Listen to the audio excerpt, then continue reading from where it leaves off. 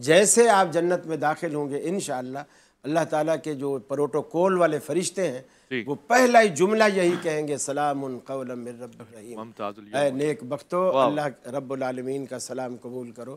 तो वहाँ भी सलाम है। या अली मदद वहाँ भी नहीं है। वहाँ भी सलाम ही है। तो इसी चीज़ को फ़रोग दें जो दुनिया से हमें जन्नत तक ले जाए और वही हमें वहाँ सुनने को मिले सब आप भी इस पे ज़्यादा ख्याल फरमाते इसके अलावा भी कोई अगर जुमले हैं मसलन यही जुमला नहीं खास तौर से ताकि कोई हिट ना हो मगर इसके अलावा अगर जुमले कह रहे हैं तहनीत में या उसकी तबरीक में तो मुनाफी सलाम तो जैसे हम सब का इतफ़ाक़ है, वो मरूफ है और अदीस मुबारक में है और उसमें किसी का इख्तलाफ नहीं। या अली मदद कहना, या लफ्ज़ या से किसी गैरुल्लाह को पुकारना, ये दुरुस्त नहीं है। ये शिरक है और या का नाबुदू व या का नस्तीन तफसीर कुरान मजीद की हम सब के लिए है। हमें उसकी तरफ़ रुजू करना चाहिए। कि जहाँ साफ़ अल्फाज में कहा गया है कि मदद सिर्फ़ अल्लाह से, पुकारना सिर्फ़ अल्लाह को चाहिए। अब यहाँ यहाँ तक बात तो बिल्कुल वाज हो गई, जिस तरह के अलामा साहब ने कहा कि शिरकिया उसमें है, उससे बरी रहना चाहिए, दूर रहना चाहिए।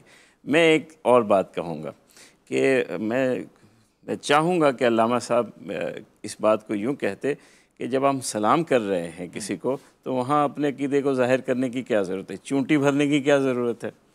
ये तो एक माहौल के भी ख़िलाफ़ है ना कि जब जब मिसाल के तौर पर कोई बरेलवी आया और वो कहे या रसूलुल्लाह मुझे कहे तो वो चूंटी भर रहा है ना सलाम तो नहीं कर रहा मुझे।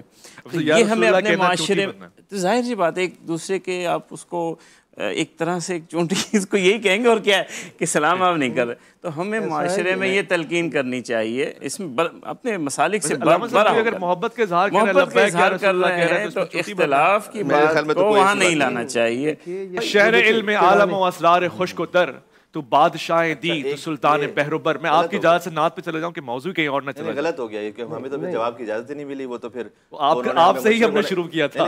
वो शुरू किया था तो फिर इसके बाद जो बात है वो रिस्पॉन्ड भी तो हो सके ना। तो वो तो फिर अब अपना बयान कीजिए। मुख्तसर चले मुख्तसर वो आज जितना उनको वक्त दिया आपने उतना तो हमें देना चाहिए था। आपको बहरहाल नहीं दिया आपने इतना वक्त।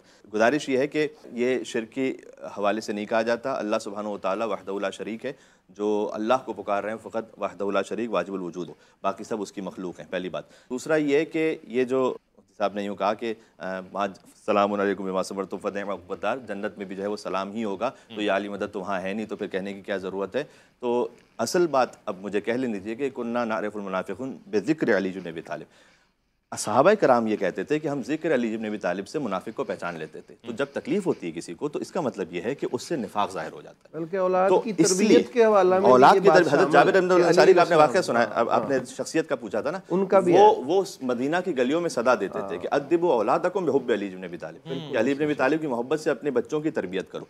तो ये एक पहचान का तरीका है मुनाफिकत का या ईमान का। बस इतनी सी बात है। अली कसीमुल जन्नत वन्नार जन्नत जहन्नम वो तकसीम फरमाएँगे। ये मामून रशीद का भी वाक़ है। इसके आप कल कहेंगे तो मैं अहल सुन्नत हवालों से सैकड़ों रेफरेंसेज आपको सुना दूँगा कि क्या क्या रेफरेंसेज हैं। तो जाना आपको वहीं पर उस मोहब्बत की वजह से।